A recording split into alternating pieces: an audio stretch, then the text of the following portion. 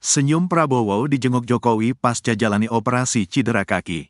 Menteri Pertahanan sekaligus Presiden terpilih RI periode tahun 2024 sampai tahun 2029 Prabowo Subianto telah berhasil melewati proses operasi cedera kaki yang dijalaninya sejak sepekan lalu di Indonesia.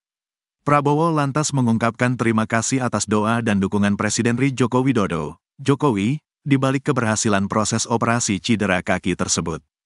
Hal ini ia ungkapkan dalam sebuah unggahan di Instagram pribadinya @prabowo pada Minggu, tanggal 30 Juni tahun 2024.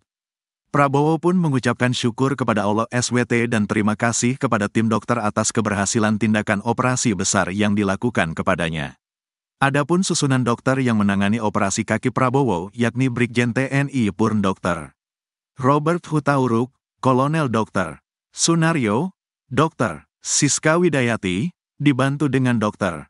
Thomas dan seluruh perawat serta para tenaga medis di Rumah Sakit Pusat Pertahanan Negara, RSPPN, Panglima Besar Sudirman, Bintaro, Pesanggerahan, Jakarta Selatan. Prabowo mengungkap pasca operasi tersebut dirinya telah siap untuk berkegiatan kembali. Prabowo turut mengungkap penyebab cedera kaki yang sudah lama dialaminya itu. Penyebabnya kata Ketua Umum DPP Partai Gerindra itu yakni, dua kali kecelakaan terjun payung saat dirinya masih aktif bertugas di TNI.